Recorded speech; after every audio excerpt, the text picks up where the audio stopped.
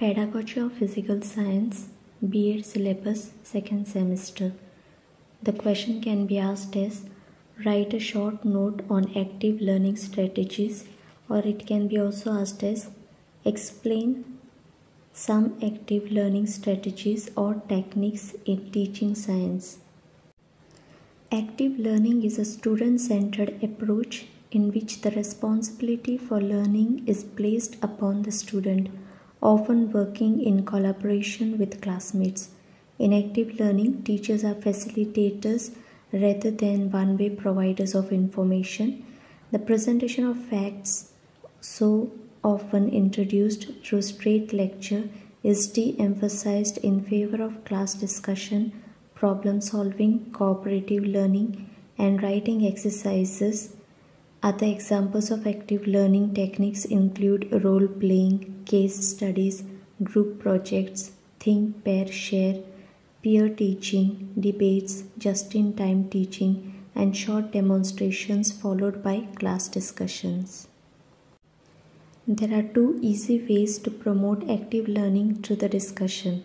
The first method is the mini lecture format in which the instructor talks 10 to 20 minutes about a particular topic and then pauses for students to consolidate their notes, find gaps, and work with classmates to fill in gaps.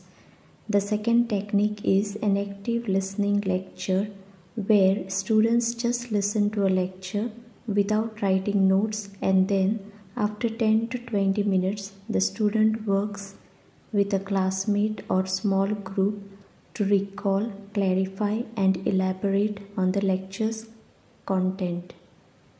Here are some of the examples of active learning techniques. First, think, pair, share. Students ponder the answer to a question and then share their thoughts with a neighbor. Next, role playing. Each student takes the role of a person affected by an earth science issue such as a volcano or a polluted lake and studies the impacts of earth science issues on human life or the effects of human activities on the world around us from the perspective of that person. Discovering plate boundaries. This is a group discussion method employing many aspects of cooperative learning. In the example cited here, students use the jigsaw technique to use or to learn more about plate tectonics. Peer review. Students review and comment on materials written by their classmates. We also call this as giving a feedback. Discussion Promoting a successful discussion depends on correctly framing questions.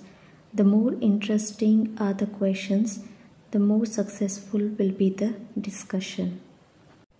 Problem solving using real data. Students use a variety of data to explore scientific questions, which helps them to solve the problems with more interest and accurateness. Just in time teaching.